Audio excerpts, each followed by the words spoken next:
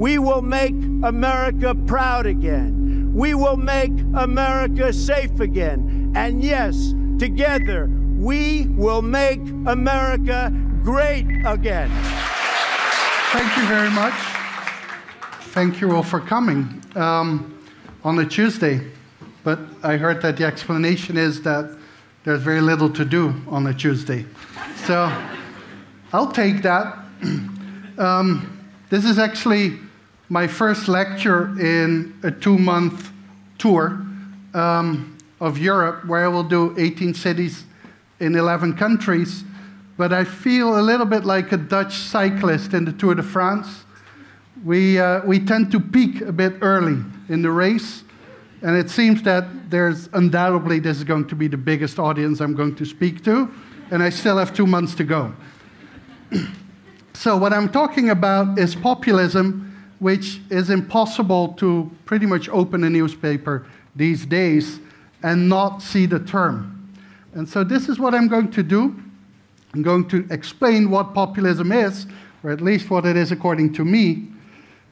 I'm going to talk about who have been the main populists in European and US history, because it's important to realize that populism might be more successful or more in the news now than it ever was, but it has a long history, particularly in North America.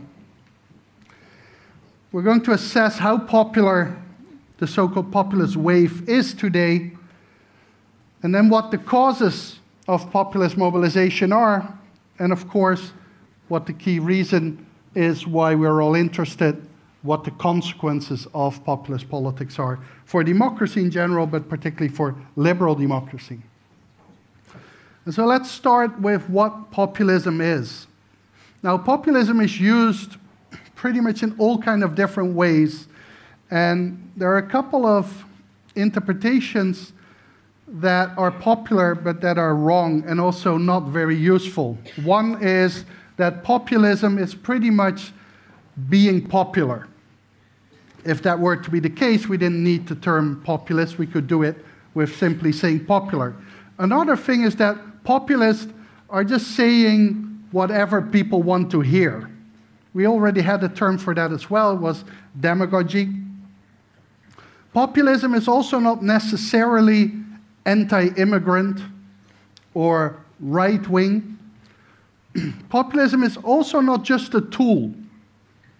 Populism actually has a meaning. It is a thin centered ideology that considers society to be ultimately separated into two homogeneous and antagonistic groups the pure people and the corrupt elite, and which argues that politics should be an expression of the volonté générale or the general will of the people. Now, let me focus on a couple of aspects here. So, I'm saying that it is an ideology. What I mean by that is that it is a worldview, which means that I assume that people who use populist discourse actually believe in that. Consequently, if they come to power, these views will influence their policies. And if you look at countries like Venezuela or Hungary, they do. Second, it is a monist ideology, which means that the key categories are homogeneous. So the people are all the same. They all have the same interest and the same values. Similarly, the elite is not plural, it's not the elites. The argument is that all the elites are identical while they act as if they're from different parties and have different ideologies, they're actually all the same, and more importantly, they're corrupt. And that's the last part that is important. The main distinction for populism is moral. So, whether you're part of the, the elite or the people is not because you have a lot of money or whether you hold power. It is whether or not you have the right values. And this explains why someone like Donald Trump or Silvio Berlusconi, who are among the richest people in their country, can still pretend to be the voice of the people. Because the argument is that despite their wealth, they're actually one of them. Like they're one of the people because they are pure too. Now, I have a clip that will play from another part about how populists sound.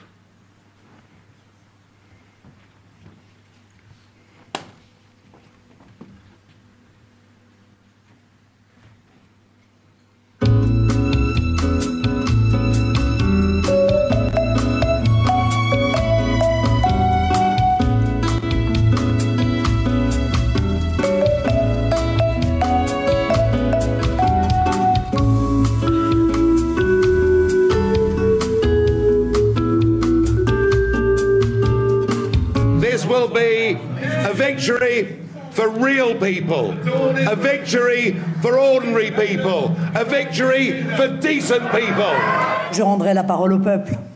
Parce qu'en démocratie, seul le peuple a raison et personne n'a raison contre lui. Je suis la candidate de la France du peuple.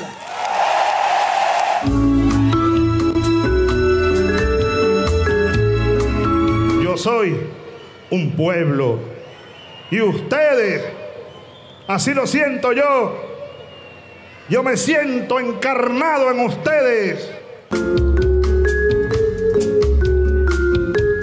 You're behaving like the mafia. You think we're a hostage. We're not. We're free to go. We're free to go. Democracy is not about billionaires buying elections. And we will tell the billionaire class in corporate America that they will start paying their fair share of taxes. It's either uh, the filthy rich, the oligarchs, who continue to enjoy the perks dito sa gobyerno. Die Menschen haben das politiek Korrekte von den Eliten satt. Haben sie es satt oder haben sie es nicht satt?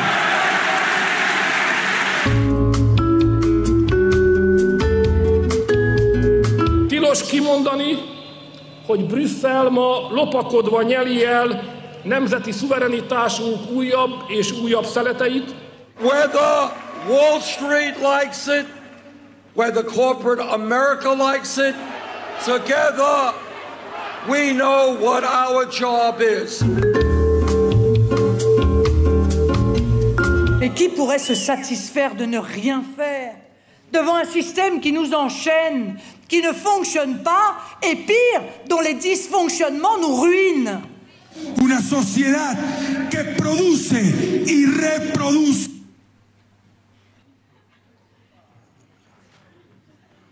la desigualdad, la exclusión, la injusticia. Por eso tenemos pobres en la patria. When someone criticizes the elites for being corrupt, it doesn't necessarily mean that speaker is a populist. The question how consistently do you use this pattern, whether this pattern is the major framework of your whole rhetoric.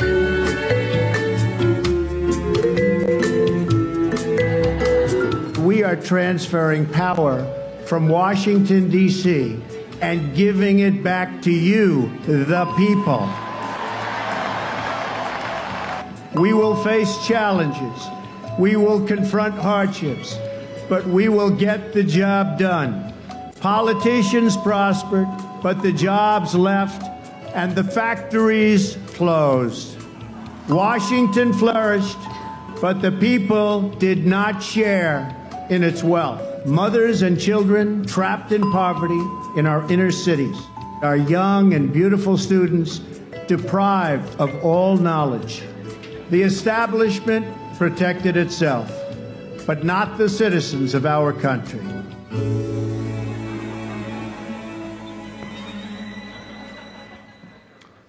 Okay, so that was Vice News, and I think what you saw there and what is important at the end is that almost all politicians will say something populist at some time, particularly, of course, during campaigns. but the distinction is how fundamental is this to the broader view of a party? and so, from these people that were all in the clip, I personally think that Bernie Sanders was not a populist. And the reason was not so much because he didn't speak of an us versus them or that he called out an elite.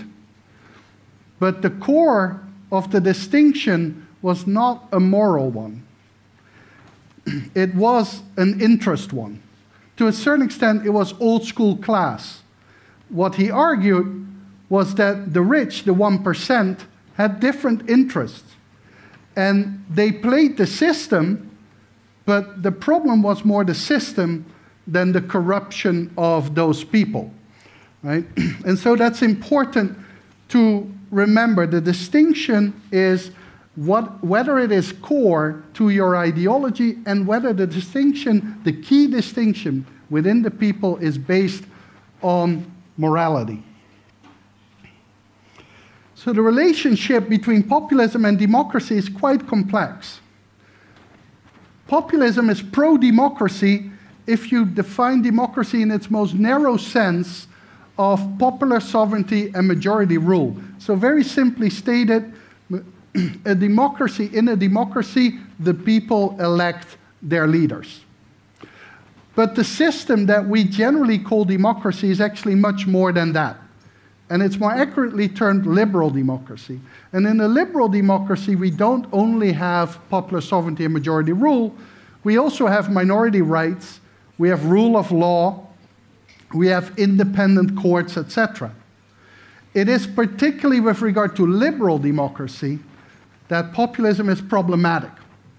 And the reason is very simple it's the monism and the moralism. Right? For populists, the people are all one. Anyone who claims to have different interests is not considered legitimate because they're part of the elite and the elite is corrupt. And the corrupt don't deserve things. Right? On top of that, you don't compromise in a moral struggle. Because if the pure compromise with the corrupt, the pure get corrupted. Right? And so some of the fundamental aspects of liberal democracy are at odds with populism. Now, populism can be on the left or on the right. That is not because of populism itself. Populism itself says very little about what type of economic system there should be or what type of political system there should be. It is the so called host ideology. Almost every relevant populist actor, party, or politician will combine populism with another ideology. Simply stated, on the right, that tends to be nationalism, and more specifically, nativism, which is a xenophobic interpretation of nationalism, which can be um, summarized in the German slogan like Deutschland den Deutschen, Ausländer raus. Germany for the Germans, foreigners leave. On the left, generally populism is combined with some form of socialism. Today, much more social democracy than the old school, but still. And overall, Right wing populism is more uh, successful in the north, both in Europe and America, whereas in the south, left wing populism is a bit more successful. I will come back to the individual groups soon. Now, in Europe, populism actually has a long tradition, but mostly in the margins. Here, it emerged in Russia in the mid 19th century with the so called Narodniki, now, the Narodniki were the most unlikely of populists because they were actually a small urban elite who had fought, came to the conclusion that the peasants were the real people. They were there, that was where the purity of society was. And so, as urban elites do, well, at least they did, they went into the countryside and went to the peasants and said, Hey, peasant, you're actually the real people. You should have power. And the peasant said, But I'm busy because I'm starving and I don't care what you say. And so that was the story of the Narodniki, pretty much. In the early 20th century, Narodniki ideas had influence in Central and Eastern Europe in so called agrarian populist movements. Now, of course, at that point in time, the vast majority of the population was agrarian. Unfortunately, most of Central and Eastern Europe was not democratic, so it didn't really matter what the majority thought. The majority had no power because power was in the hands of military and um, landowners. But there were a couple of leaders that came to power. This person who looks a little bit like Dali, but actually was the leader of a Bulgarian agrarian populist party who made it to prime minister, but unfortunately got killed a year later because that was how politics was at that point in time. After this period, populism disappeared. Sure, there were populist aspects in communism and in National Socialism, fascism, particularly in the movement stage, but fundamentally, both, both ideologies were actually the opposite of populism. They were elitist. Fascism, either its German or Italian form, didn't believe that the people were pure. they didn't believe in democracy, they believed actually that democracy was mediocrity. They believed that there, were, there was one leader who had all the major qualities, and therefore that leader should hold power. Communism, particularly the form that was most important, Marxism Leninism, was also very elitist. It saw the Communist Party as the vanguard of the people. It would by and large force the people to become free. Now, after the Second World War, there were a few populist episodes. The most important was this man, Pierre Poujade, in the late 1950s in France, who out of nowhere got into parliament and then disappeared. But he did leave a quite important legacy for French politics because there was one man who was elected as the youngest parliamentarian in French history up to that point, whose name was Jean Marie Le Pen.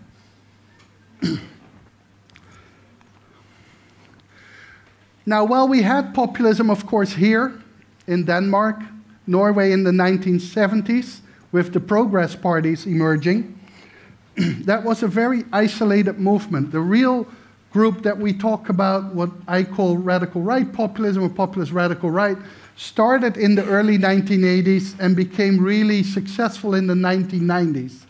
This is Jean Marie Le Pen, and this adorable young girl is not Marine Le Pen, but it's Marion Le Pen, who is the next scion who will take over Front National undoubtedly in about 10 years. Jean Marie Le Pen was a very important politician already in the 1980s. and in the 1990s, he and the Front National became the prototype of radical right populism. Almost all the parties in other countries would follow their um, slogans and um, their propaganda. Now, what we forget is that already in the 1990s, some of these parties had big successes. Front National got 16%. More importantly, the FPÖ, the Austrian Freedom Party, got 27% in 1999. Went into the government in 2000.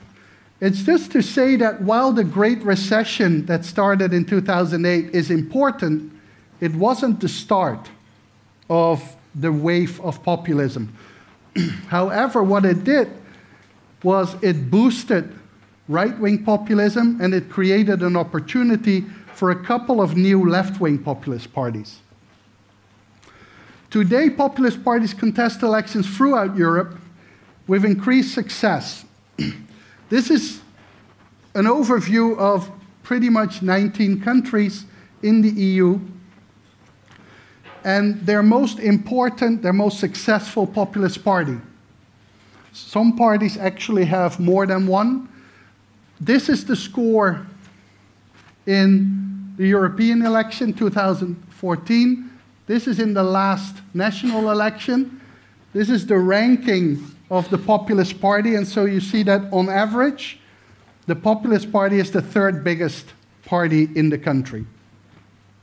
This is the percentage of the total vote for populist parties. As said, there are several countries that have more than one populist party. Greece is the most extreme case where you have a left wing populist and a right wing populist party, which are actually forming a coalition in government at the moment. And then this is the change. And, and so the, the main reason why I, I show this is diversity. First of all, the parties in black are radical right parties. The parties in red are left wing populist parties. The parties in blue are right wing populist parties, but not radical right ones. They're mostly combine populism with neoliberalism. And then the green ones are kind of idiosyncratic which the Five Star Movement in Italy, which is probably going to be the biggest party in Italy, um, is an example. That party is so unorganized that at any level it will take any position. And so, in certain localities, the Five Star Movement will actually argue in favor of amnesty for undocumented immigrants and in others, they want to close the borders for all refugees. Um, what the party really stands for, only the leader, Beppe Grillo, knows, but he doesn't really want to take any position. So that's a mess, but unfortunately for Italy, it's a mess with a quarter of the vote. And according to the polls, it's a mess with about a third of the vote, and probably in the next government. What you see as well is that in certain countries, there is a majority that votes for populist parties. Hungary is in the worst state. In Hungary, the government party, Fidesz, is a populist radical right party, but the main opposition party is Jobbik, which is an even more extreme populist radical right party. But in many of the other countries, you see that the score is relatively modest. The average is around 18%. Now, remember, these are the 19 countries out of 28. If you would actually calculate it on the basis of 28, the average is a bit under 15%. That is a lot, but very, very, very far away from the majority. and so while we had now a whole year of is populism going to take over the world, right? Clearly it wasn't. Not because they failed, no, they were never going to. On the other hand, now that they don't take over the world, we get these new stories because media need a frame. It can't be complicated. It is either you take over the world or you died. And so now we get questions is populism over? Has populism peaked? No. Actually, Marine Le Pen had the best result ever for the Front National. Geert Wilders in the Netherlands did a little bit less well than he did in 2010, but together with another new party, they were roughly equally high. And so populism is going up, but mostly it's going up like this particularly whenever populists are in power, they tend to lose. Syriza, coalition of the radical left, which is leading the government in Greece, is doing horrible in the polls. That's what two years of incompetence do to you generally. But it is quite normal for political parties to lose when they get to power, particularly new parties, because new parties promise a lot particularly that they're going to do everything different. But if you're in the EU, you're not going to do everything different because the EU does a lot for you. And you will understand that after a couple of months, and you start to look more and more like other parties. That is not so bad if you're just an establishment party, but if you're going to change the world, that, that looks bad. And so, by and large, the lesson from this graph table that has way too much information is that yes, populism is very is a relevant factor. On average, the third biggest party right, influences politics, but there are many different types of populist parties. Some go up, some go down, some are big, some are small. Now, in the US, populism has a very long history too, but it's more continuous. I would argue that populism has always been part of US political culture, and it goes back to the interpretation of the Constitution, which starts with the beautiful words, we the people. Now, the interpretation in the US of we the people is that the founding fathers of the Republic really trusted the people and created a system in which the elite could not do too much because power should be with the people. If you read what the founders actually thought, then many distrusted the people completely and made a system to make sure that the people would never have the last word, which is why we have the Electoral College, which is why we all, I a little bit more than you, have Donald Trump, who lost the popular vote but won the Electoral College. The reason is exactly that. The reason was that the founders wanted to make sure that there was a mechanism that would prevent that the people made the wrong choice. Bit unfortunate.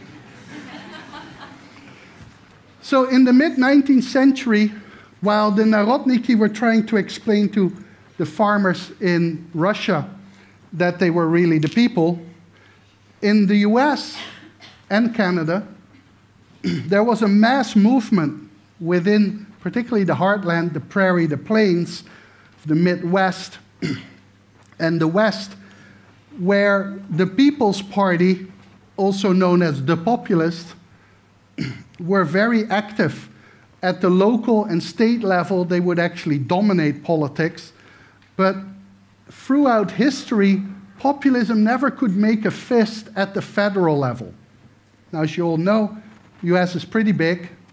Um, it has a system that favors the existing two parties.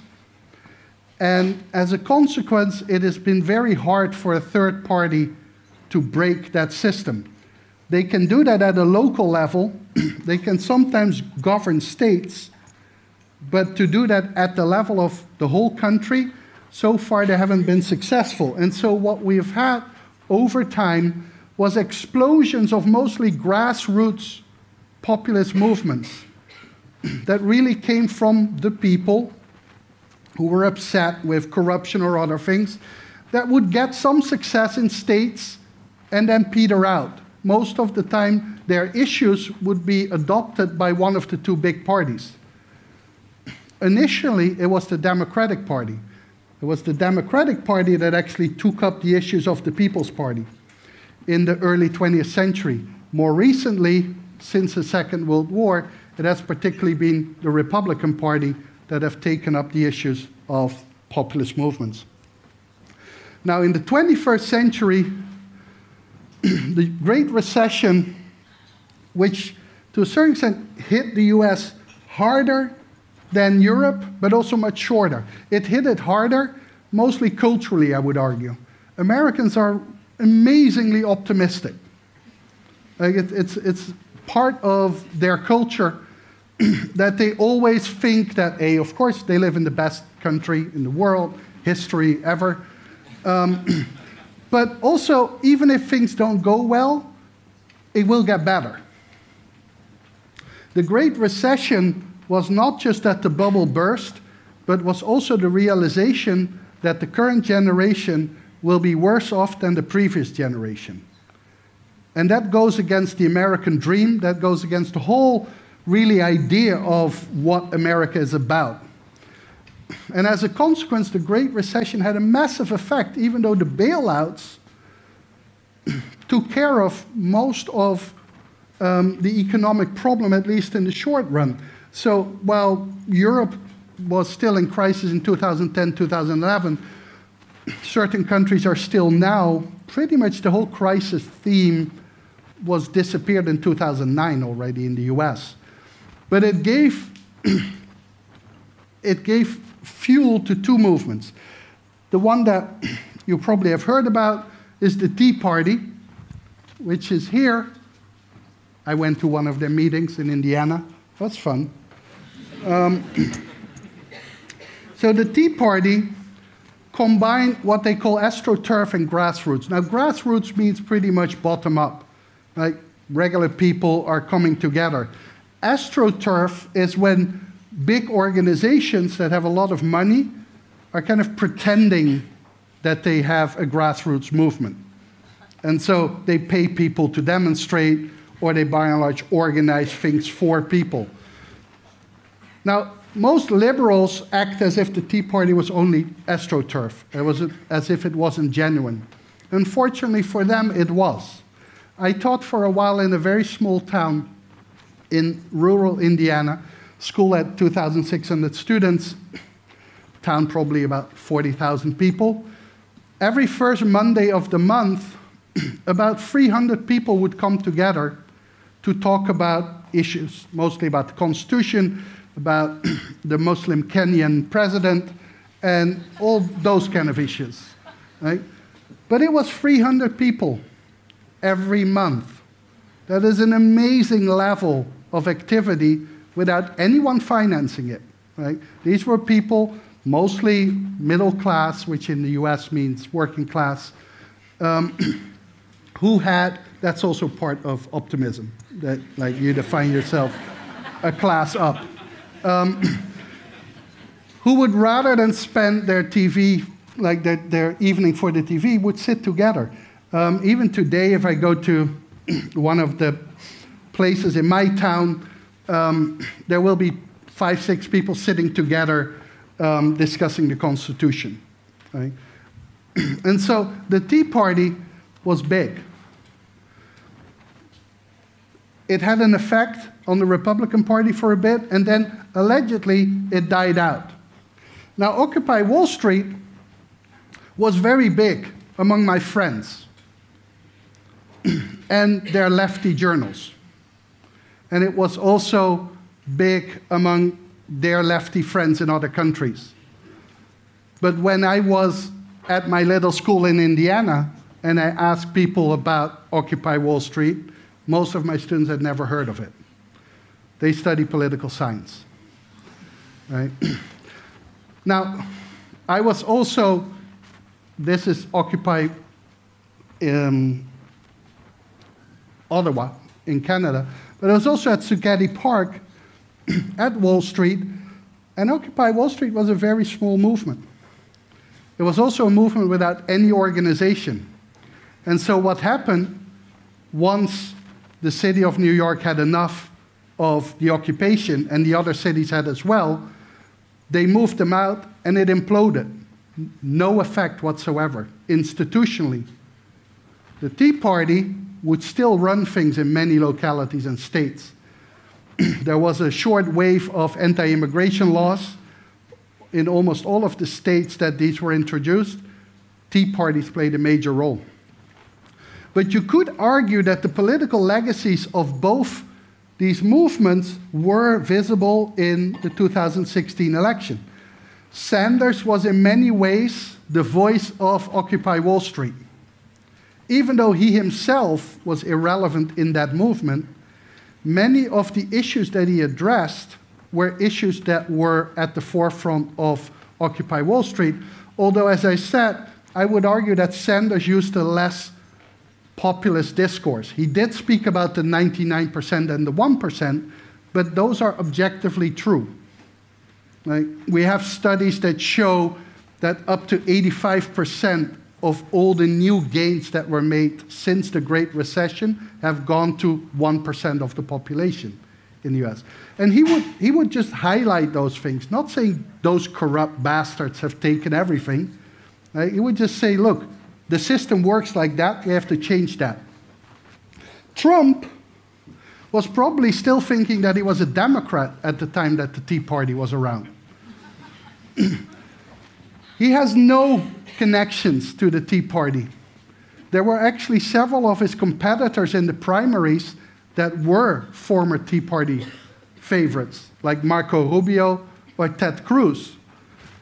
But if you see what Trump stood for, and if you see what the grassroots Tea Party group stood for, it is almost a 100% overlap. because while the media often focused on the small government and low taxes, etc., etc., when you actually went to the meetings, there was always Islamophobia.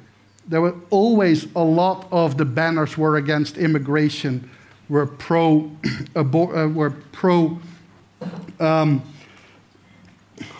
anti-abortion, but pro-repression of current abortion things.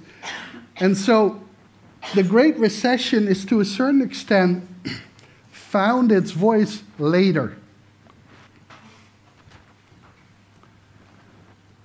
Now, the question then, of course, becomes why is populism successful?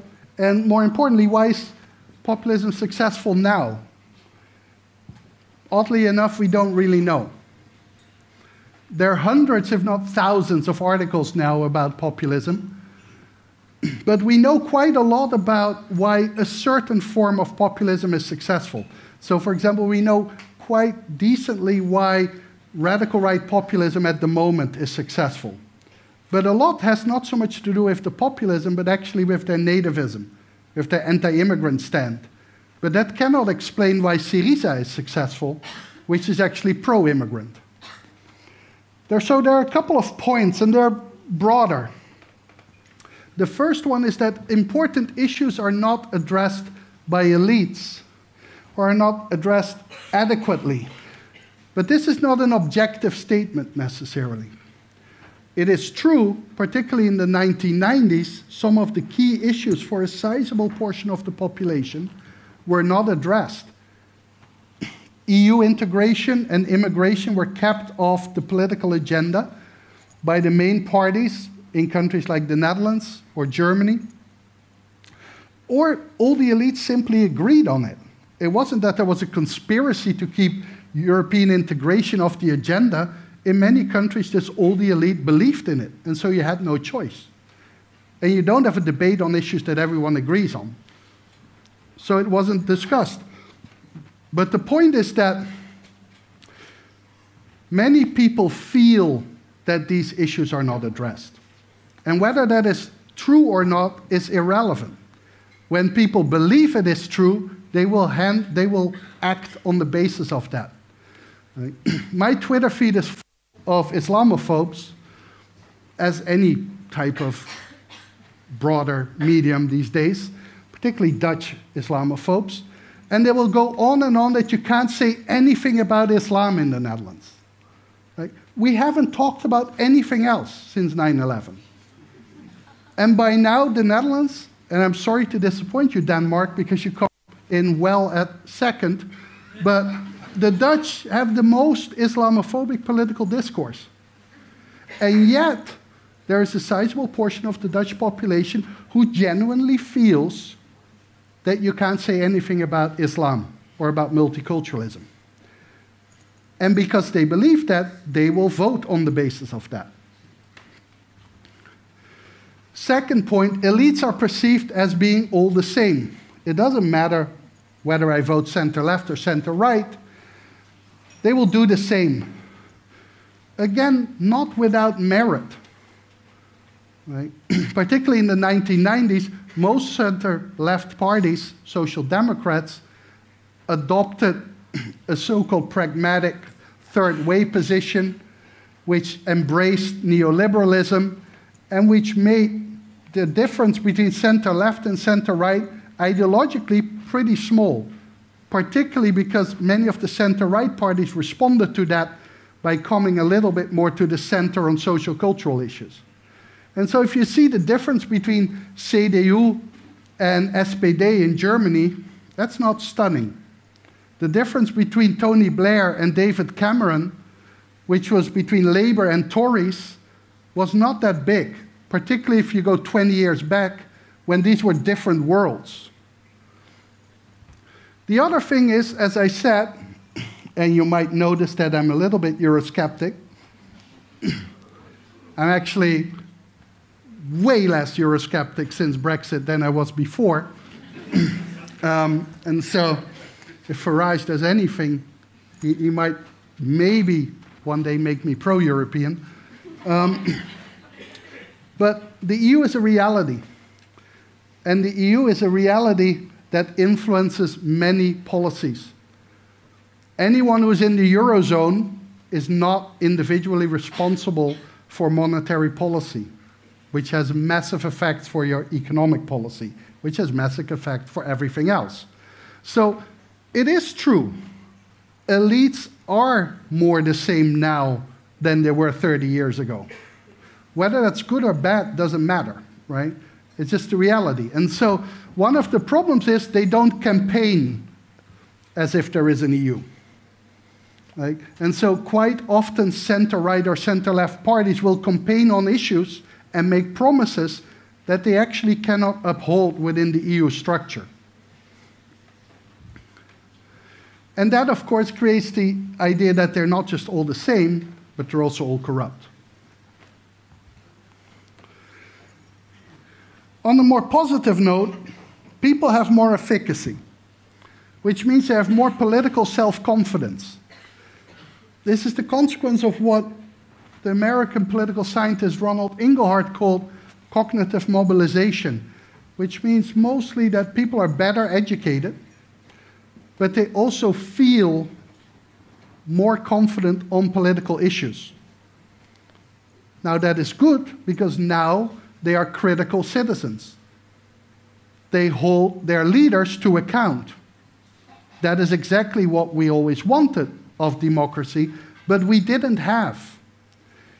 In the 1950s, most of the 1960s, Catholic people voted for the Catholic Party.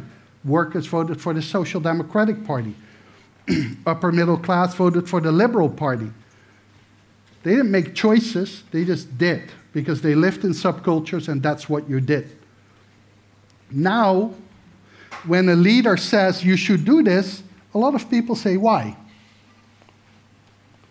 They didn't used to say that. And so cognitive mobilization is creating problems for the way politics was always done.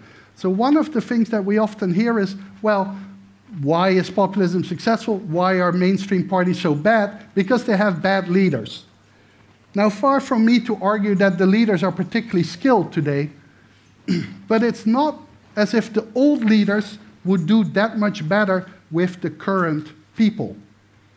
Like, I remember, because I'm very old, I remember some politicians of the 1970s. They had very low people skills.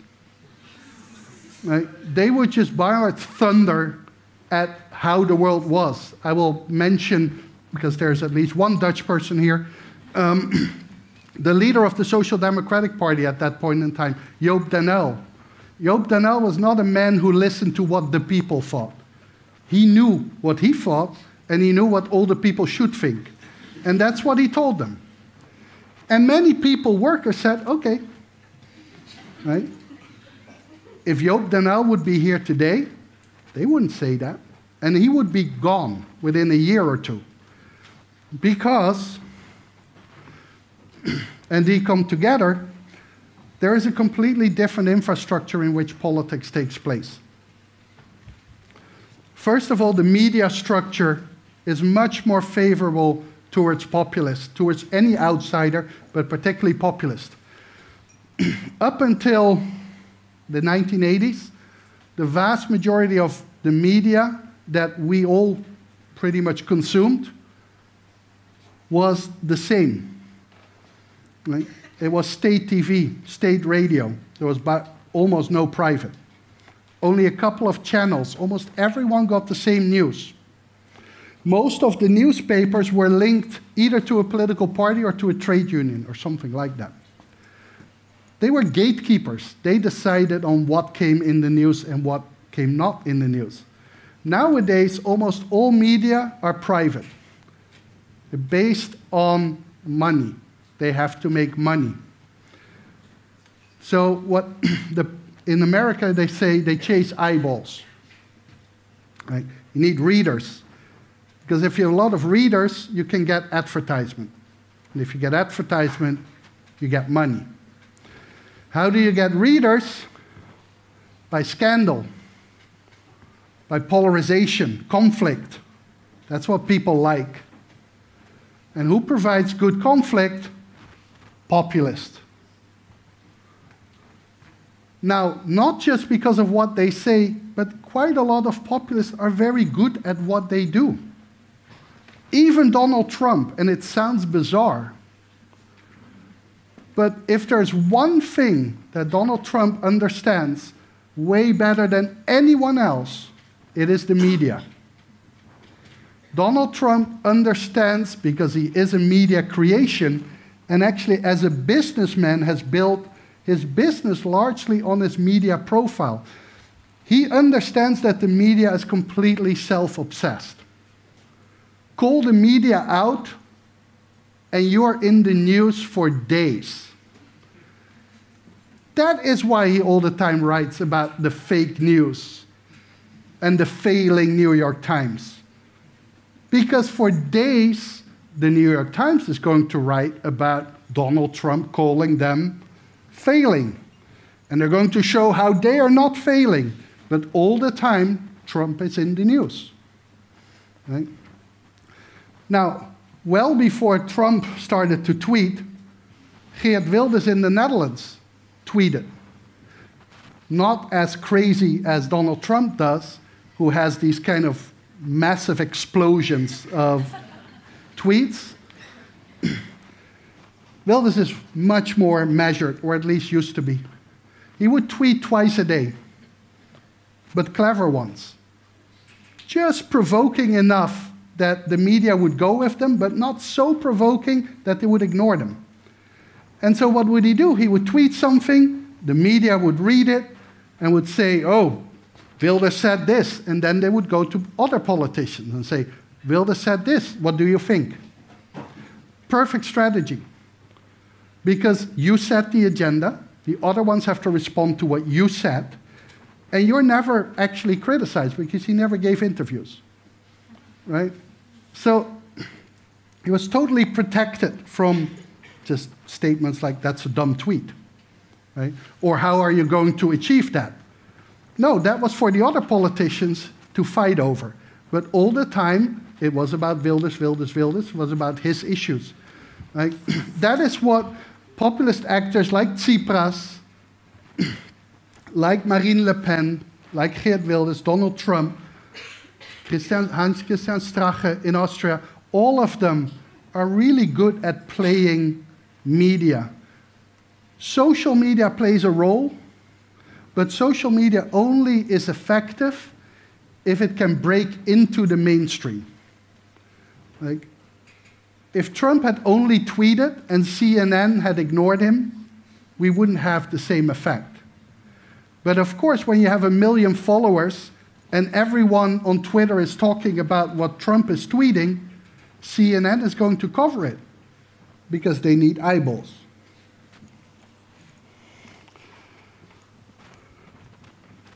Now, the consequences of populism, finally, are pretty big but they're also good.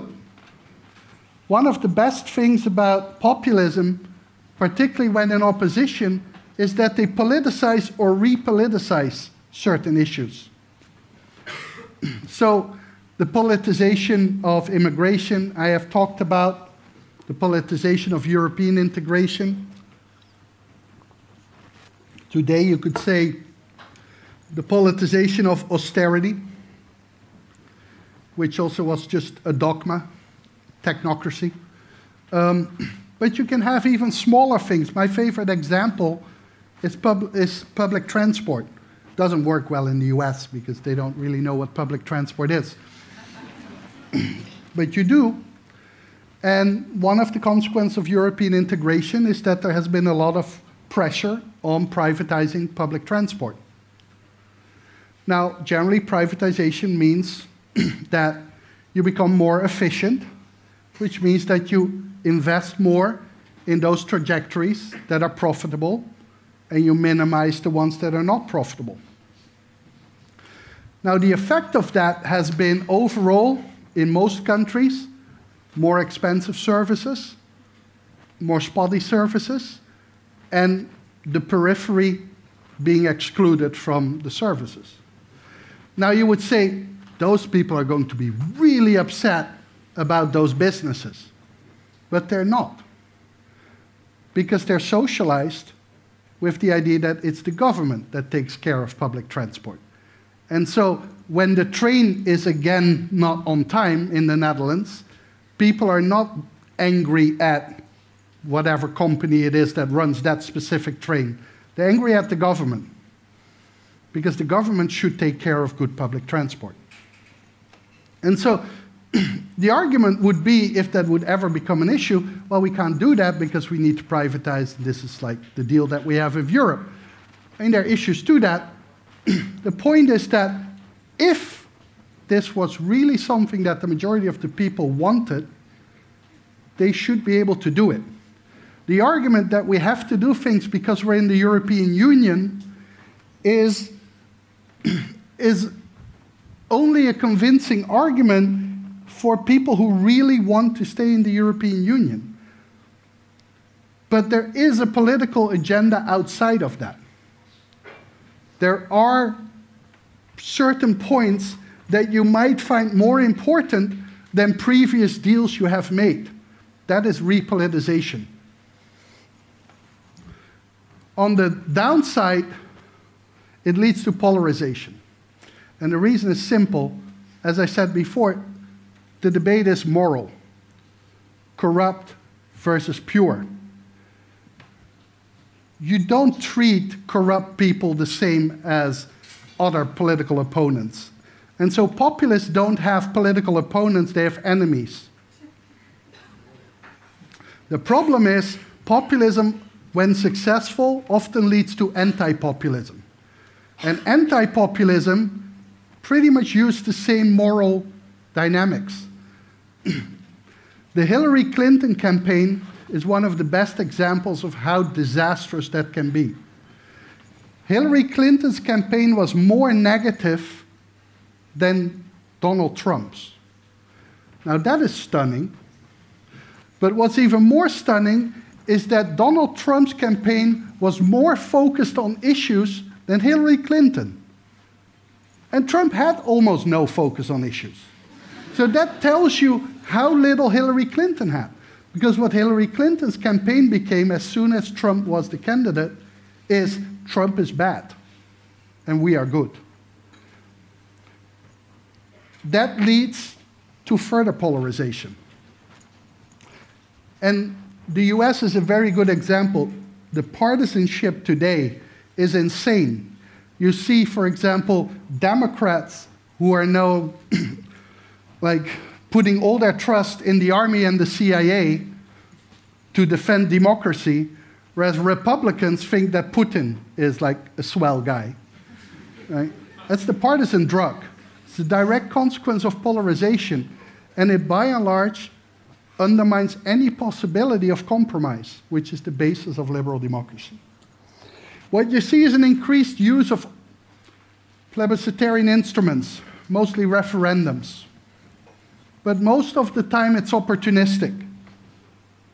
So they will use it to strengthen their, their cause, their case. However, if it doesn't go well, they will just dismiss it. Um, my big friend Viktor Orban, the Prime Minister of Hungary, had um, a referendum on the EU migration deal, the redistribution of immigrants. Deal was already dead by the time the referendum was held, but of course that was not really the point. However, he lost the referendum not because people didn't vote against immigrants, that's always a winner, but he didn't get turnout. Ironically, he didn't get turnout because he himself had raised the turnout level, because he was afraid that the opposition would use referendums against him. So, what does the voice of the people do? Does he stick with the outcome of the referendum? No. He just says, well, there is a majority, I feel it, so we're going to do this through the parliament. The worst example, Tsipras in Greece. Tsipras is involved with negotiations about a bailout with the EU, with the Troika. Doesn't go anywhere. So he thinks, what I need is a referendum. Because if I win a referendum and I show that the majority of the Greeks don't like the bailout, then everyone else is going to agree. Logic. He wins it. He wins his own referendum. 61% said no to the bailout. EU doesn't move, he ignores his own referendum. Right? and so, referendums are always used strategically. This is not only by populists, but by populists it stands out in particular. The most worrying thing is the weakening of non majoritarian institutions, courts, and media. It's one of the reasons why many people are very worried about Donald Trump. Right? So called judge, fake media. Right? It's important. Those are not just words, this delegitimation of these institutions. And his argument is always look, I've been elected by the people. Nothing should stand in the way of what we want. Not I, but we, the people, want. Um, Venezuela is a painful case of how independent courts and media have been killed. But Hungary is doing this within the EU. One of the ways to get around the Supreme Court was because Orban is very smart. He's surrounded by lawyers. And so he doesn't do things in the Polish way where you make big statements and then don't get anything done. you figure out how other countries do it and you pick parts of that, which all individually don't look bad, but together are bad. So, what does he do? First of all, he lowers the retirement age of the judges. Turns out that's a big group gone, so you have to appoint new ones. Those are, of course, your friends. Still no majority, so you extend the number of judges. Bam, you have a majority of the Supreme Court, the only thing that could still hold you back. Media, problematic. Even the EU, which is really toothless towards Hungary for all kinds of reasons, cannot really accept when the government closes important media. So you don't close them, you buy them. Or better, your friend buys them. Népszabadság, which was the most important opposition paper in Hungary, was bought by a friend of Orban. Someone who five, six years ago had very little money and then turned out to have enough to buy a newspaper for 10 million. And so he bought it. That's legal. Right? It's capitalism. You can buy whatever you want. But now he had the newspaper, and he said, Well, I've done a study. Turns out there's no market for this newspaper, so I'm going to fold it. Totally legal. Can't do anything about it. But it's, well, but it's the last opposition newspaper that's gone. Now, when it all really goes bad, first of all, populism creates an illiberal democracy, which means that you have now a system where you still have, by and large, free and fair elections, but you don't have other aspects of liberal democracy. So you don't have rule of law, you don't have independent media. And if it really gets bad, it becomes an autocracy where you don't have free and fair elections anymore. And that's where Venezuela is today. So, in conclusion, populism has a long history in Europe and the US, but was largely marginal before the 21st century in the sense of it was there, particularly in the US, but it could never become a relevant political force. It is peaking in the early 21st century, but its popularity is overstated. Right? There are very few countries still today that have populists in power. Its relationship to democracy is complex. Populism can be both a corrective and a threat for liberal democracy. Very simply stated, it often asks the right questions, but it gives the wrong answers. And then finally, populism is an illiberal democratic response to undemocratic liberalism. I can let that sink in. When I came up with it, I knew that it was going to be quoted, so I needed to keep this. But there's more to it than just fishing for quotes. I have made it clear, I think, by now, why populism is illiberal democratic. But the response to undemocratic liberalism is many points, many important issues that used to be political have become non political, or at least are put outside of the electoral arena. Think about monetary policy, which, if you're in the Eurozone, are now in charge is the European Central Bank. Right? Experts, technocrats. But also many other issues, death penalty, which is now a legal case, it's not a political case. And so liberalism, whether it's neoliberal economic or broader liberal social cultural, has made a lot of taken a lot of issues outside of the electoral agenda. That's where the undemocratic comes in. And populism is an illiberal democratic voice against that that says this might be illiberal, but the people want it and we should have a right for that. Thank you very much. On a Tuesday. So I'll take that. Um, this is actually my first lecture in a two month tour um, of Europe where I will do 18 cities in 11 countries. But I feel a little bit like a Dutch cyclist in the Tour de France. We, uh, we tend to peak a bit early in the race. And it seems that there's undoubtedly this is going to be the biggest audience I'm going to speak to. And I still have two months to go. so, what I'm talking about is populism, which is impossible to pretty much open a newspaper these days and not see the term. And so, this is what I'm going to do. I'm going to explain what populism is, or at least what it is according to me. I'm going to talk about who have been the main populists in European and US history, because it's important to realize that populism might be more successful or more in the news now than it ever was, but it has a long history, particularly in North America.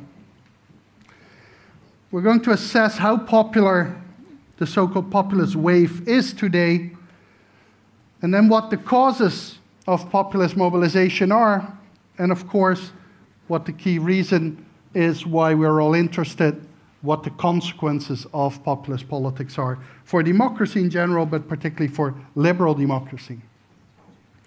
And so let's start with what populism is. Now, populism is used pretty much in all kind of different ways, and there are a couple of interpretations that are popular but that are wrong and also not very useful. One is that populism is pretty much being popular. If that were to be the case, we didn't need the term populist. We could do it with simply saying popular. Another thing is that populists are just saying whatever people want to hear. We already had a term for that as well, it was demagogy. Populism is also not necessarily anti immigrant or right wing. Populism is also not just a tool Populism actually has a meaning. It is a thin centered ideology that considers society to be ultimately separated into two homogeneous and antagonistic groups the pure people and the corrupt elite, and which argues that politics should be an expression of the volonté générale or the general will of the people. Now, let me focus on a couple of aspects here. So, I'm saying that it is an ideology. What I mean by that is that it is a worldview, which means that I assume that people who use populist discourse about the fake news and the failing New York Times, because for days the New York Times is going to write about Donald Trump calling them failing. And they're going to show how they are not failing, but all the time Trump is in the news. Right? Now, well before Trump started to tweet, Geert Wilders in the Netherlands tweeted. Not as crazy as Donald Trump does, who has these kind of massive explosions of tweets. Wilders is much more measured, or at least used to be. He would tweet twice a day, but clever ones. Just provoking enough that the media would go with them, but not so provoking that they would ignore them. And so, what would he do? He would tweet something, the media would read it, and would say, Oh, Wilders said this. And then they would go to other politicians and say, Wilders said this. What do you think? Perfect strategy. Because you set the agenda, the other ones have to respond to what you said, and you're never actually criticized because he never gave interviews. Right? So he was totally protected from just statements like, that's a dumb tweet. Right? Or how are you going to achieve that? No, that was for the other politicians to fight over. But all the time, it was about Wilders, Wilders, Wilders, it was about his issues. Right? that is what populist actors like Tsipras, like Marine Le Pen, like Geert Wilders, Donald Trump, Christian, Hans Christian Strache in Austria, all of them are really good at playing media. Social media plays a role, but social media only is effective if it can break into the mainstream. Like, if Trump had only tweeted and CNN had ignored him, we wouldn't have the same effect. But of course, when you have a million followers and everyone on Twitter is talking about what Trump is tweeting, CNN is going to cover it because they need eyeballs.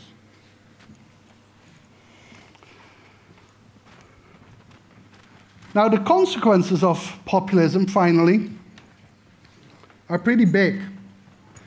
But they're also good. One of the best things about populism, particularly when in opposition, is that they politicize or repoliticize certain issues. so, the politicization of immigration, I have talked about, the politicization of European integration on the Republican Party for a bit, and then allegedly it died out. Now, Occupy Wall Street was very big among my friends and their lefty journals.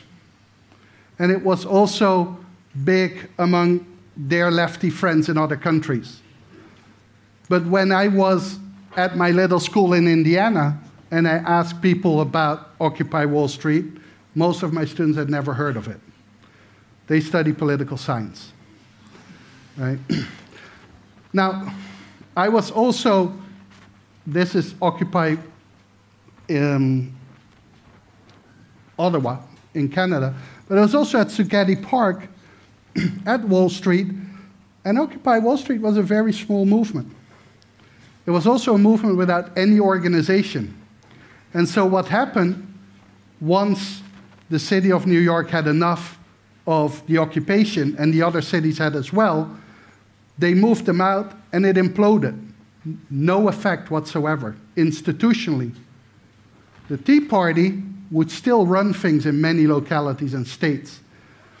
there was a short wave of anti immigration laws in almost all of the states that these were introduced. Tea parties played a major role.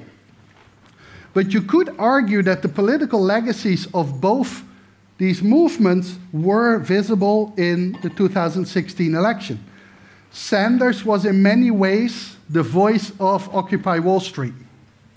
Even though he himself was irrelevant in that movement, many of the issues that he addressed were issues that were at the forefront of Occupy Wall Street. Although, as I said, I would argue that Sanders used a less populist discourse. He did speak about the 99% and the 1%, but those are objectively true. Like, we have studies that show that up to 85% of all the new gains that were made since the Great Recession have gone to 1% of the population in the US. And he would, he would just highlight those things, not saying those corrupt bastards have taken everything. Right? He would just say, look, the system works like that, we have to change that. Trump was probably still thinking that he was a Democrat at the time that the Tea Party was around. he has no connections to the Tea Party.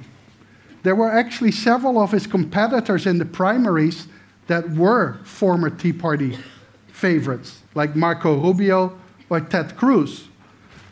But if you see what Trump stood for, and if you see what the grassroots Tea Party group stood for, it is almost a 100% overlap. This was really something that the majority of the people wanted. They should be able to do it. The argument that we have to do things because we're in the European Union is is only a convincing argument for people who really want to stay in the European Union. But there is a political agenda outside of that. There are certain points that you might find more important than previous deals you have made. That is repoliticization. On the downside, it leads to polarization. And the reason is simple. As I said before, the debate is moral corrupt versus pure. You don't treat corrupt people the same as other political opponents. And so populists don't have political opponents, they have enemies. The problem is, populism, when successful, often leads to anti populism. And anti populism pretty much use the same moral dynamics. the Hillary Clinton campaign is one of the best examples of how disastrous that can be. Hillary Clinton's campaign was more negative than Donald Trump's. Now, that is stunning. But what's even more stunning is that Donald Trump's campaign was more focused on issues than Hillary Clinton. And Trump had almost no focus on issues. So that tells you how little Hillary Clinton had. Because what Hillary Clinton's campaign became as soon as Trump was the candidate is Trump is bad and we are good. That leads to further polarization. And the US is a very good example. The partisanship today is insane you see, for example, Democrats who are now like putting all their trust in the army and the CIA to defend democracy, whereas Republicans think that Putin is like a swell guy. Right? That's the partisan drug. It's a direct consequence of polarization, and it by and large undermines any possibility of compromise, which is the basis of liberal democracy. What you see is an increased use of plebiscitarian instruments, mostly referendums. But most of the time it's opportunistic. So they will use it to strengthen their, their cause, their case. However, if it doesn't go well, they will just dismiss. Now, most liberals act as if the Tea Party was only astroturf, it was as if it wasn't genuine. Unfortunately for them, it was. I taught for a while in a very small town in rural Indiana, school at 2,600 students, town probably about 40,000 people. Every first Monday of the month, about 300 people would come together to talk about issues, mostly about the constitution, about the Muslim Kenyan president, and all those kind of issues. Right? But it was 300 people every month. That is an amazing level of activity without anyone financing it. Right? These were people, mostly middle class, which in the US means working class, um, who had, that's also part of optimism, that like you define yourself a class up, um, who would rather than spend their TV, like their, their evening for the TV, would sit together. Um, even today, if I go to one of the places in my town, um, there will be five, six people sitting together um, discussing the Constitution. Right?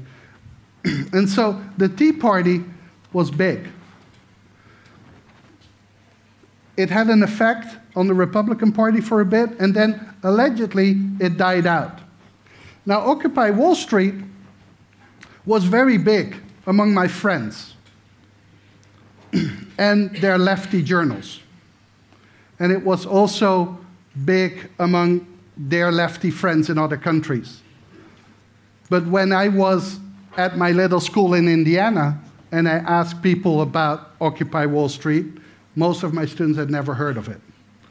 They study political science. Right? now, I was also, this is Occupy um, Ottawa in Canada, but I was also at Zuccotti Park at Wall Street, and Occupy Wall Street was a very small movement. It was also a movement without any organization. And so, what happened once the city of New York had enough of the occupation, and the other cities had as well, they moved them out and it imploded. No effect whatsoever, institutionally. The Tea Party would still run things in many localities and states. there was a short wave of anti immigration laws in almost all of the states that these were introduced. Tea parties played a major role. But you could argue that the political legacies of both these movements were visible out of 28. If you would actually calculate it on the basis of 28, the average is a bit under 15%. That is a lot, but very, very, very far away from the majority. and so, while we had now a whole year of is populism going to take over the world, right? Clearly it wasn't. Not because they failed, no, they were never going to. On the other hand, now that they don't take over the world, we get these new stories because media need a frame. It can't be complicated. It is either you take over the world or you died. And so now we get questions is populism over? Has populism peaked? No. Actually, Marine Le Pen had the best result ever for the Front National. Geert Wilders in the Netherlands did a little bit less well than he did in 2010, but together with another new party, they were roughly equally high. And so populism is going up, but mostly it's going up like this. Particularly whenever populists are in power, they tend to lose. Syriza, coalition of the radical left, which is leading the government in Greece, is doing horrible in the polls. That's what two years of incompetence do to you generally.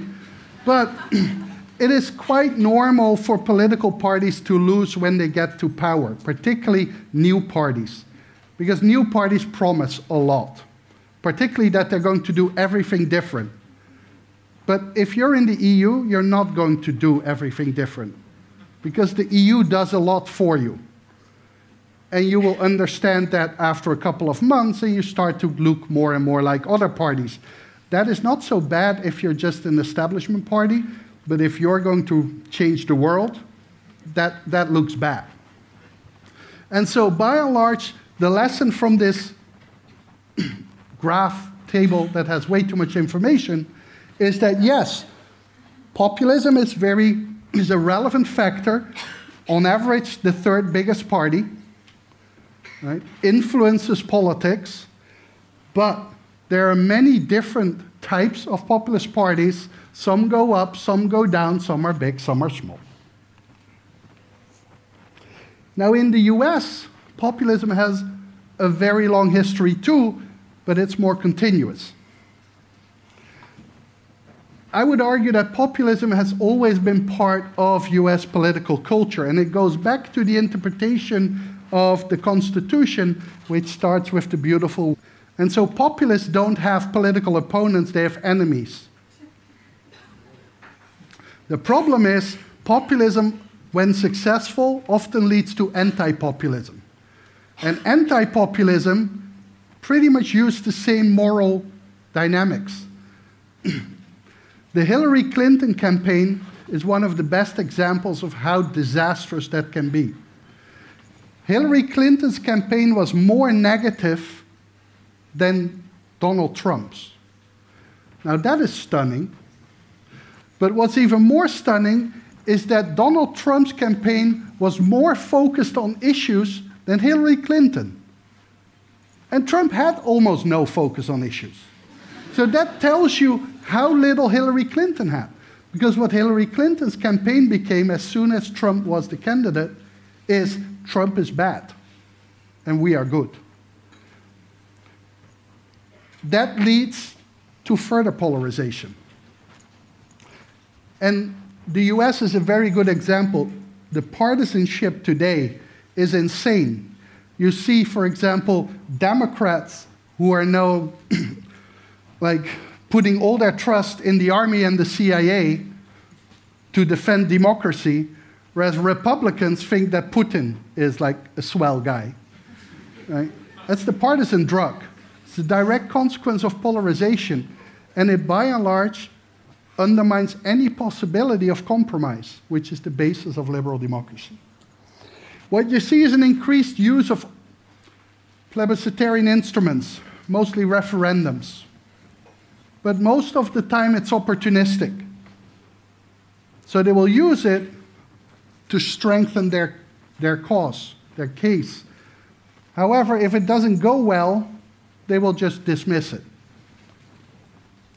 Um, my big friend Viktor Orban, the Prime Minister of Hungary, had um, a referendum on the EU migration deal, the redistribution of immigrants. The deal was already dead by the time the referendum was held, but of course that was not really the point. However, he lost the referendum, not because people didn't vote against immigrants, that's always a winner, but he didn't get turnout. Ironically, he didn't get turnout because he himself had raised the turnout level, because he was afraid that the opposition would use referendums against him. So, what does the voice of the people do? Does he stick with the outcome of the referendum? No. He just says, well, there is a majority, I feel it, so we're going to do this through the parliament. The worst example, Tsipras in Greece, pretty much bottom up. Like regular people are coming together. AstroTurf is when big organizations that have a lot of money are kind of pretending that they have a grassroots movement. And so they pay people to demonstrate, or they by and large organize things for people. Now, most liberals act as if the Tea Party was only astroturf, it was as if it wasn't genuine. Unfortunately for them, it was. I taught for a while in a very small town in rural Indiana, school had 2,600 students, town probably about 40,000 people.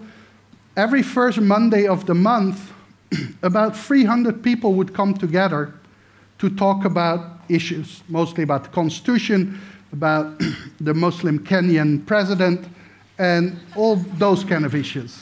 Right? But it was 300 people every month. That is an amazing level of activity without anyone financing it. Right? These were people, mostly middle class, which in the US means working class, um, who had, that's also part of optimism, that like you define yourself a class up. Um, who would rather than spend their TV, like their, their evening for the TV, would sit together. Um, even today, if I go to one of the places in my town, um, there will be five, six people sitting together um, discussing the Constitution. Right? and so the Tea Party was big. It had an effect on the Republican Party for a bit, and then allegedly it died out. Now, Occupy Wall Street was very big among my friends and their lefty journals. And it was also big among their lefty friends in other countries. But when I was at my little school in Indiana and I asked people about Occupy Wall Street, most of my students had never heard of it. They study political science. Right? now, I was also, this is Occupy um, Ottawa in Canada, but I was also at Zuccotti Park at Wall Street, and Occupy Wall Street was a very small movement. It was also a movement without any organization. And so, what happened once the city of New York had enough of the occupation, and the other cities had as well, they moved them out and it imploded. No effect whatsoever, institutionally. The Tea Party newspaper, and he said, Well, I've done a study. Turns out there's no market for this newspaper, so I'm going to fold it. Totally legal. Can't do anything about it. But it's, well, but it's the last opposition newspaper that's gone. Now, when it all really goes bad, first of all, populism creates an illiberal democracy, which means that you have now a system where you still have, by and large, free and fair elections, but you don't have other aspects of liberal democracy. So you don't have rule of law, you don't have independent media. And if it really gets bad, it becomes an autocracy where you don't have free and fair elections anymore. And that's where Venezuela is today. So, in conclusion, populism has a long history in Europe and the US, but was largely marginal before the 21st century in the sense of it was there, particularly in the US, but it could never become a relevant political force. It is peaking in the early 21st century, but its popularity is overstated.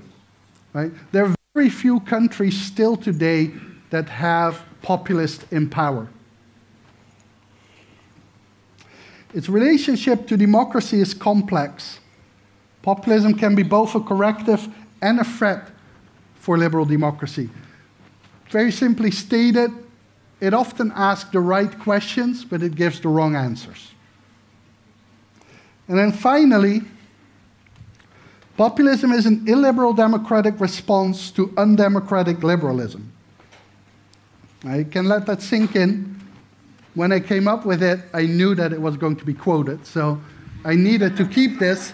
But there's more to it than just fishing for quotes. I have made it clear, I think, by now, why populism is illiberal democratic. But the response to undemocratic liberalism is many points, many important issues that used to be political have become non political, or at least are put outside of the electoral arena. Think about monetary policy, which, if you're in the Eurozone, are now in charge is the European Central Bank. Right? Experts, technocrats. But also many other issues, death penalty, which is now a legal case, it's not a political case. And so liberalism, whether it's neoliberal economic or broader liberal social cultural, has made a lot of the Midwest and the West, where the People's Party, also known as the Populist, were very active at the local and state level. They would actually dominate politics. But throughout history, populism never could make a fist at the federal level. Now, as you all know, US is pretty big. Um, it has a system that favors the existing two parties. And as a consequence, it has been very hard for a third party to break that system.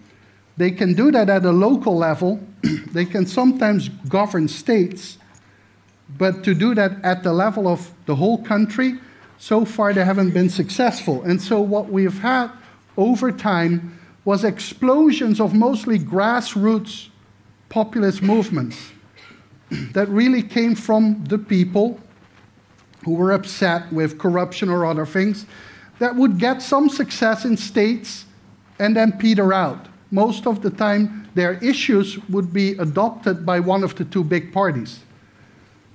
Initially, it was the Democratic Party.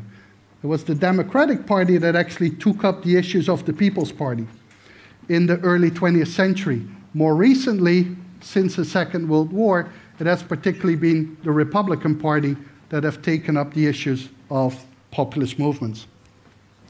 Now, in the 21st century, the Great Recession, which to a certain extent hit the US harder than Europe, but also much shorter. It hit it harder, mostly culturally, I would argue. Americans are amazingly optimistic. Like it, it's, it's part of their culture that they always think that, A, of course, they live in the best country in the world, history ever. Um, but also, even if things don't go well, it will get better.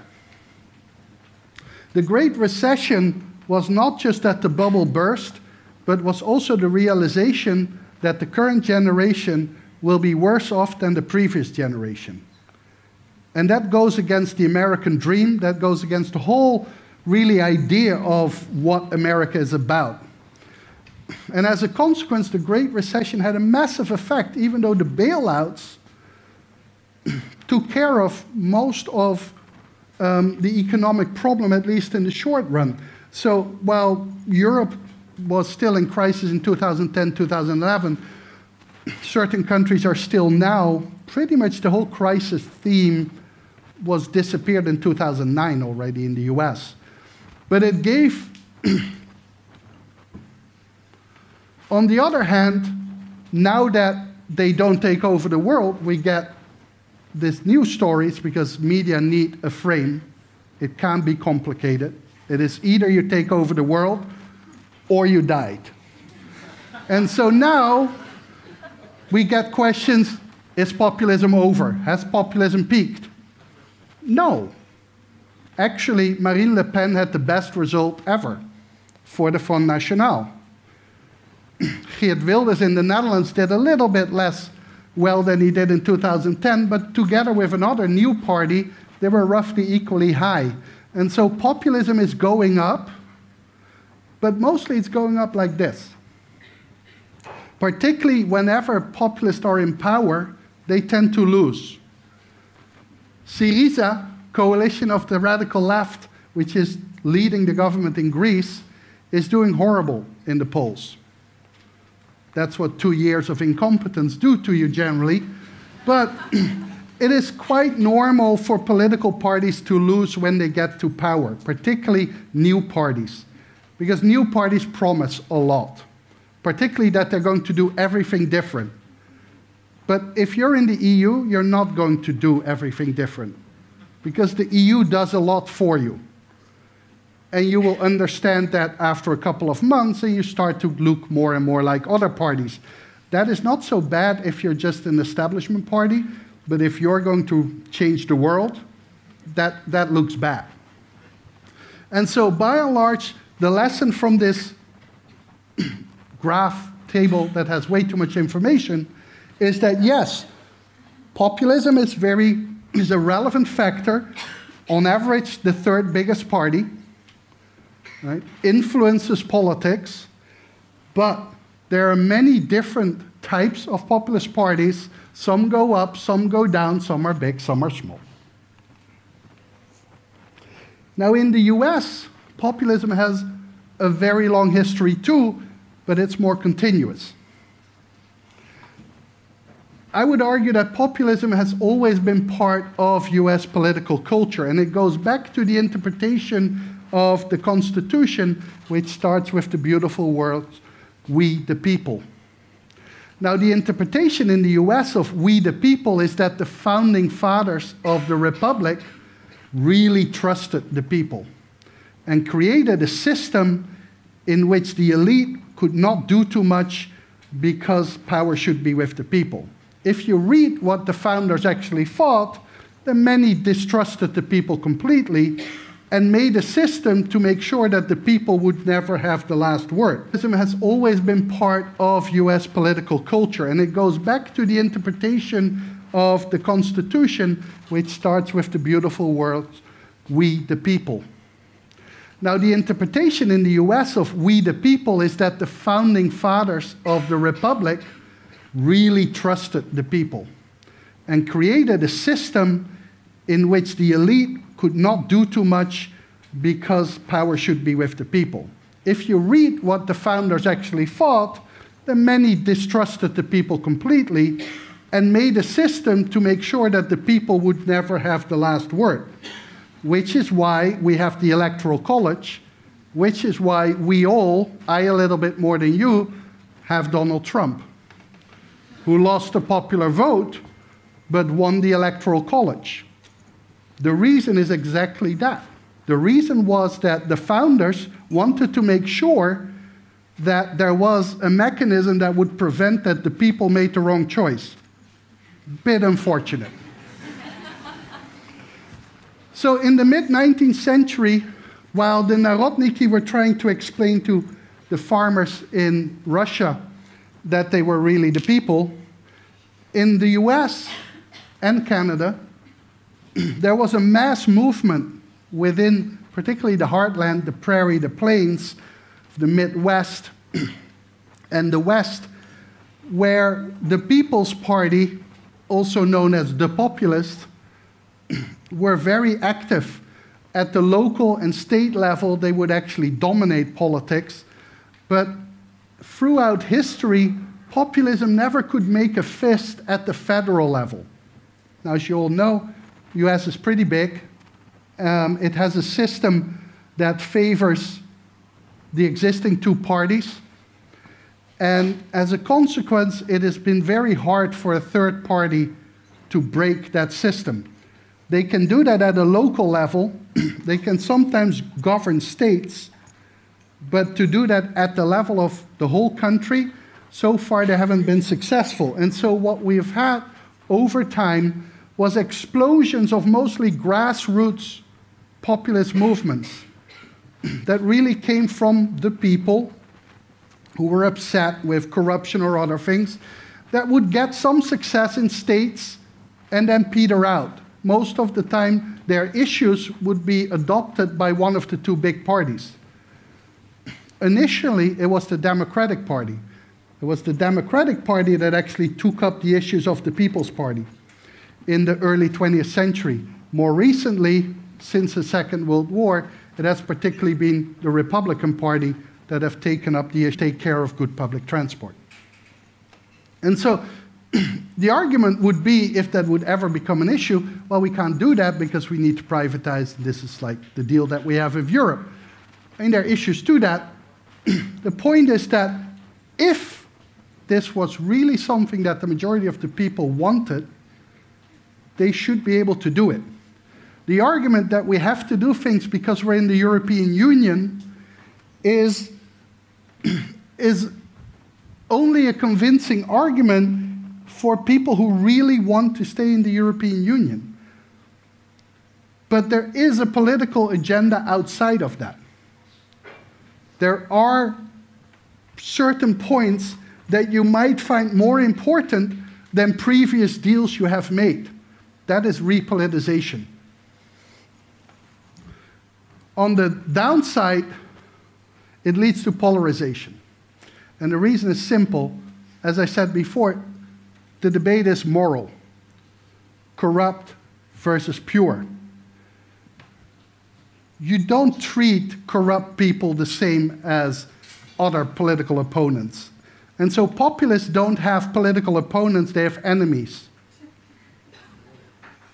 The problem is, populism, when successful, often leads to anti populism. And anti populism pretty much use the same moral dynamics. the Hillary Clinton campaign is one of the best examples of how disastrous that can be. Hillary Clinton's campaign was more negative than Donald Trump's. Now, that is stunning. But what's even more stunning is that Donald Trump's campaign was more focused on issues than Hillary Clinton. And Trump had almost no focus on issues. So that tells you how little Hillary Clinton had. Because what Hillary Clinton's campaign became as soon as Trump was the candidate is Trump is bad and we are good. That leads to further polarization. And the US is a very good example. The partisanship today is insane. You see, for example, Democrats who are now like putting all their trust in the army and the CIA to defend democracy, whereas Republicans think that Putin is like a swell guy. Right? That's the partisan drug. It's a direct consequence of polarization, and it by and large undermines any possibility of compromise, which is the basis of liberal democracy. What you see is an increased use of plebiscite. They had very low people skills. Right? They would just large thunder at how the world was. I will mention, because there's at least one Dutch person here, um, the leader of the Social Democratic Party at that point in time, Joop den Uyl. Joop den was not a man who listened to what the people thought. He knew what he thought, and he knew what all the people should think. And that's what he told them. And many people, workers, said, okay, right? If Joop den Uyl would be here today, they wouldn't say that. And he would be gone within a year or two.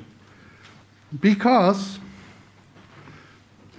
and they come together, there is a completely different infrastructure in which politics takes place. First of all, the media structure is much more favorable towards populists, towards any outsider, but particularly populist. Up until the 1980s, the vast majority of the media that we all pretty much consumed was the same. Right? It was state TV, state radio. There was almost no private. Only a couple of channels. Almost everyone got the same news. Most of the newspapers were linked either to a political party or to a trade union or something like that. They were gatekeepers. They decided on what came in the news and what came not in the news. Nowadays, almost all media are private. They're based on money. They have to make money. So, what the, in America they say they chase eyeballs. Right? You need readers. Because if you have a lot of readers, you can get advertisement. And if you get advertisement, you get money. How do you get readers? By scandal by polarization, conflict. That's what people like. And who provides good conflict? Populist. Now, not just because of what they say, but quite a lot of populists are very good at what they do. Even Donald Trump, and it sounds bizarre, but if there's one thing that Donald Trump understands way better than anyone else, it is the media. Donald Trump understands, because he is a media creation, and actually, as a businessman, has built his business largely on his media profile. He understands that the media is completely self obsessed. Call the media out, and you are in the news for days.